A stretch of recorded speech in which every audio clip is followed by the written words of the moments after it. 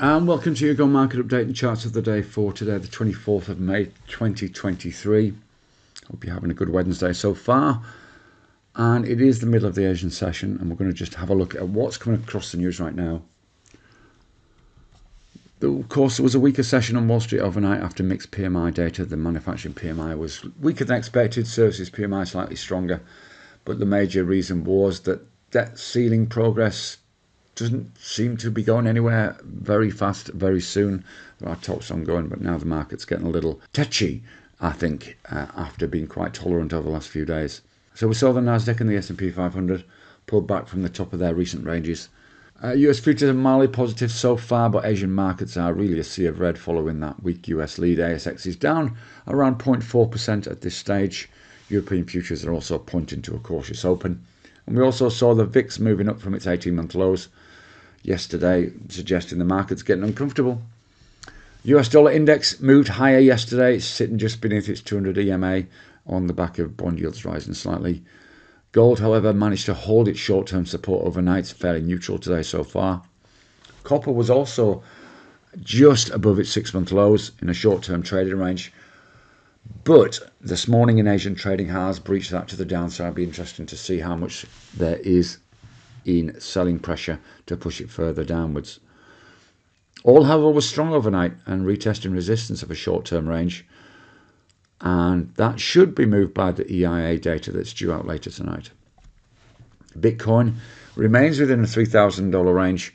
Uh, there was a small bounce of support level just over that 26,500 level, sitting around about 27 this morning in Asia.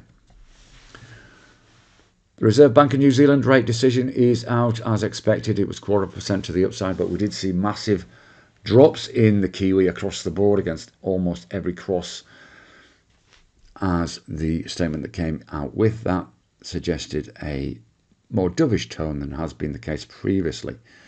UK PPI and CPI are out this afternoon with the Bank of England governor speaking later on today after those are released. And German business climate numbers are also due. Very little out of the US today, but tomorrow we get US preliminary GDP numbers and weekly jobs. And then on Friday, the big one of the week, which is the PCE data, which essentially is the Fed's favourite inflation measure. Of course, debt ceiling negotiations will remain a major story as that June the 1st deadline approaches. A couple of charts at corner eye. We'll start in the ASX. And we're looking at Webjet. I just want to put up the weekly chart first of all, just to show you how important this level around about 750 is. Uh, we had one move above a key level previously uh, at around about 650. We moved up a dollar accordingly, and you can see the gap potentially up to around about $10.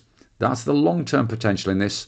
If we look at a short term chart, you can see today's price action has breached that 750 level fairly significantly off the highs of the day. So worthwhile having a look at this towards the back end of the day or even tomorrow to make sure that this buying pressure continues. But you can see the high candle there, and this was on the back of positive corporate news. If we look at the Kiwi cross, we're going to look at the GB pound Kiwi there. You can see on the 30 minute chart that was the initial move higher. After that, rate statement came out from the RBNZ, and you can see now we're moving further higher again after a small pause. So we need context. Let's have a look at the daily chart. Uh, and you can see here, this is a really important level that we're looking at right now. There is the level of interest that we're moving above. Potential upside on this could be, if we bring it in closer, could be as high as maybe 75 pips from where we are now in the first instance. Certainly testing 202 looks on the cards and could be breached uh, as early as today unless. It is a technical double bottom on the daily chart, so one to keep an eye on over the coming hours. But bear in mind there is that GB pound data out later this afternoon. Trade safe, and we'll see you again soon. Bye bye for now.